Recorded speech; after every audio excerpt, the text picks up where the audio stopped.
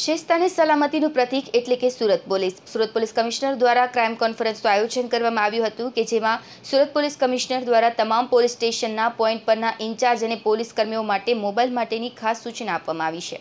સુરત શહેરમાં થોડા દિવસોથી પોલીસ બાબતની અલગ અલગ બાબતોના વીડિયો વાયરલ થઈ રહ્યા છે. ત્યારે સુરત પોલીસ કમિશનર અજય તોમરે ક્રાઇમ કોન્ફરન્સમાં સૂચના આપી હતી કે તમામ પોઈન્ટના ઇન્ચાર્જ તેમજ ઉપરના તમામ પોલીસના કર્મચારી તેમજ ટ્રાફિકના કર્મચારીઓ અને ટીઆરબીના જવાનોએ પણ પોતાની ફરજ પર જ્યારે જાય ત્યારે મોબાઈલ જમા કરાવી જવાનું રહેશે.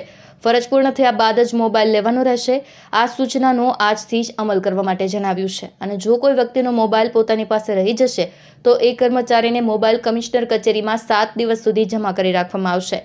આ તમામ બાબતોનો અમલ થાય છે કે નહીં સુપરવિઝન દરમિયાન આ સૂચનાનું પાલન થાય છે કે નહીં તેની ખાતરી કરાશે. વચ્ચેના પોઈન્ટ પર જો માત્ર એક જ ત્યાં બેસવા માટે પોલીસ હોય તો તેમણે નજીકના પણ મોબાઈલ જમા કરાવવાનો રહેશે. ત્યારે લાગી રહ્યું છે કે સુરત પોલીસ બેડામાં કર્મચારીઓમાં કચવાટ થશે પરંતુ જો મોબાઈલ ન હોય તો ડ્યુટી પર સભાનતાપૂર્વક કામ કરશે તેવા કારણોસર જ આ સૂચન કરાયું હોવાનું મનાઈ રહ્યું છે. સાચી વાત છે. હાલમાં ત્રણ વાગ્યા સુધી લોકડાઉનની છૂટછાટ હોવાથી સુરત શહેરની અંદર ટ્રાફિક ખૂબ જ વધી ગયો છે. અને એ સંજોગોની અંદર ટ્રાફિક બ્રિગેડ અને એલઆર, નવા જે પોલીસ આવી છે, એલઆર લીવ રિઝર્વ પોલીસવાળા ચેકિંગ દરમિયાન ફોન પર વાતો કરતા જણાય છે.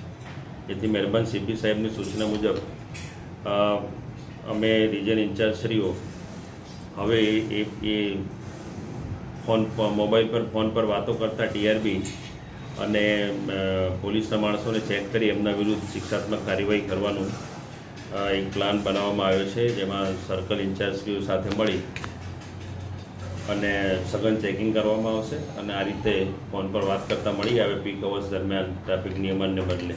તો એમના વિરુદ્ધ કાર્યવાહી કરવાનું શિક્ષાત્મક પગલાં લેવામાં આવશે.